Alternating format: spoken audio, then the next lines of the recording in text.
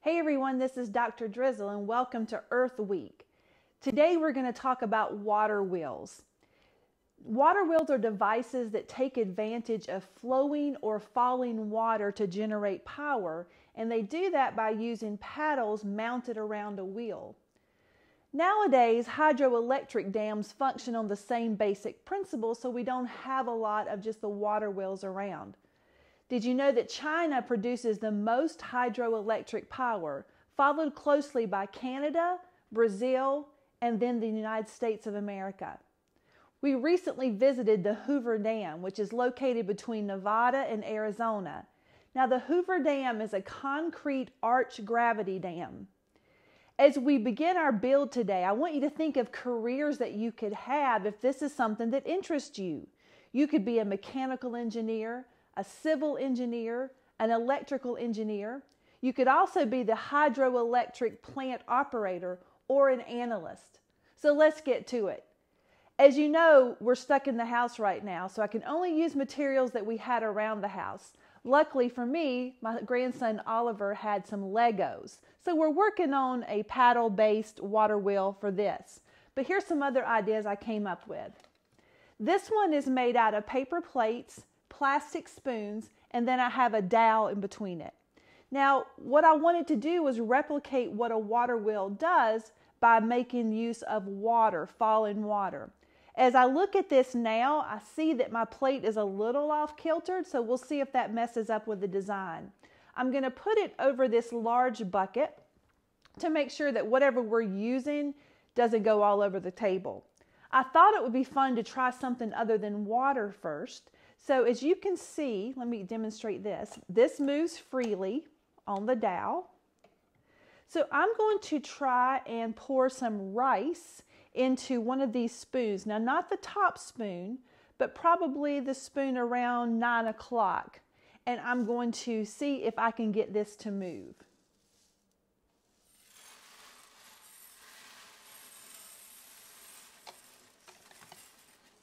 So we had some success there, but did you notice it was a little off kilter? There might have been something in my design that I can go back now and redesign to make sure that the plates are vertical and not horizontal or leaning.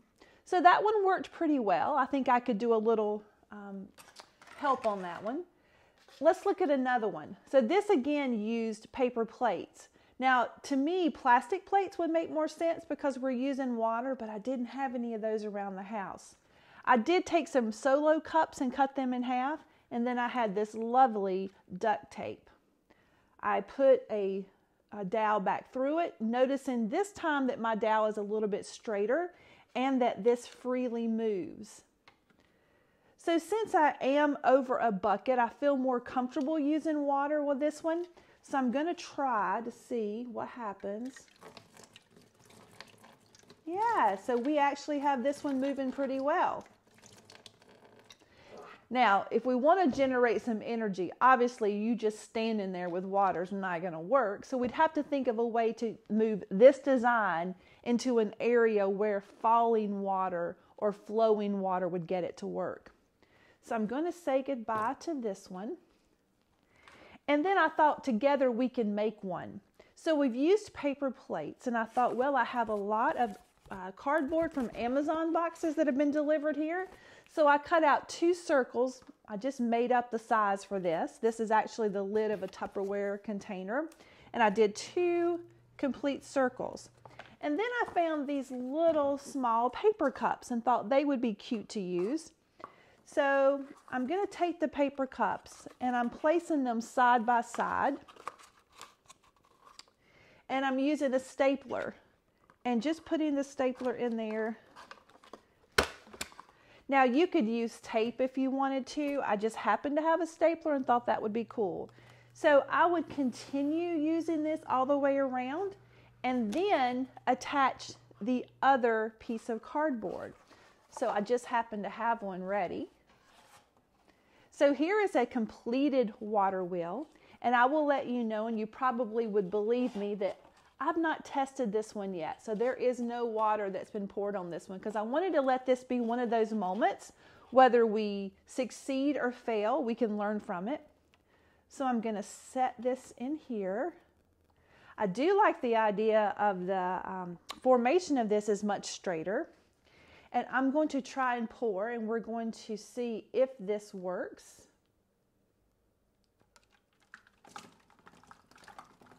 We have success. And you notice the faster I pour, well, we had success for just a moment. The faster I poured, the faster it spin, uh, would spin. Let me show you my design flaw here. So I had some short bamboo skewers, not really strong ones. Actually, these came off of a photo booth prop that I had for a science day. So then I added some extra um, strength to it by using some paper straws. But I see what my problem was. The paper straws were pretty handy dandy, but they're not long enough. So I had to pull them apart a little bit, which made it not as strong. So, what can you come up with? What design can you create for a water wheel to uh, provide energy, maybe to an outdoor pond or to a bird feeder? Remember, we made those this week. Thank you so much for joining me today for our Earth Week Water Wheel Challenge. Want to thank uh, Joanna Radford for yesterday for our great transplanting garden session. Let's see what you're doing with that. Make sure that you're sending your designs and posting them on Twitter at Dacia92. That's at D A C I A 92.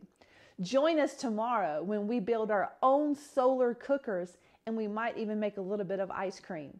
Thanks so much, everyone. This is Dr. Drizzle out.